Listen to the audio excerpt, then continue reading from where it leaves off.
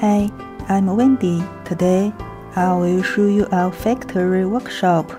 Now please follow me. Let's go. This is our material inspection department.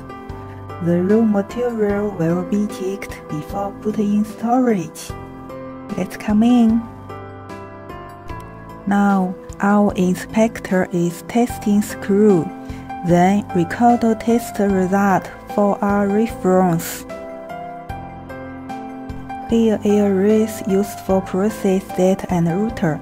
This is data grading machine delivering cleaning data inside. It's clearly completed. Standby for next step.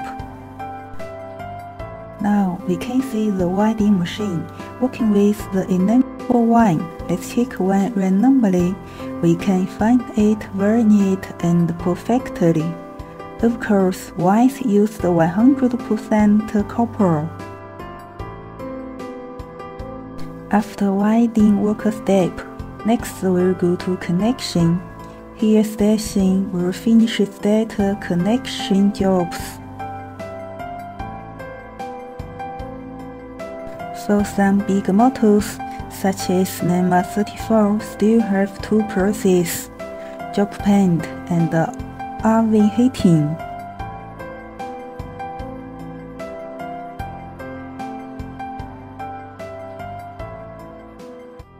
Now we will talk about as one important part. Come here. This is rotor, including bearings, magnetic steel, and rotor slice.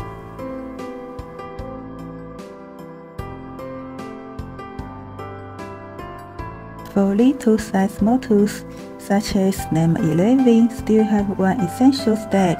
We call the full ring coating.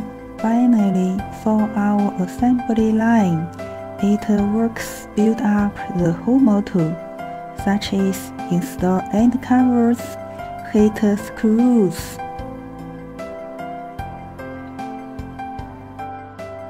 test the torque, and worker performance test.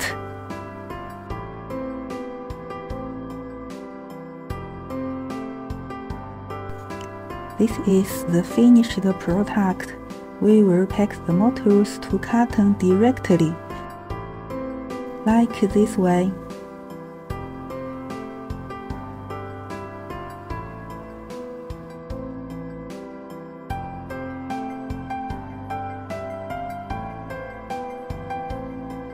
We will put all the cartons in the pallet to protect the goods well. Bye. Thank you.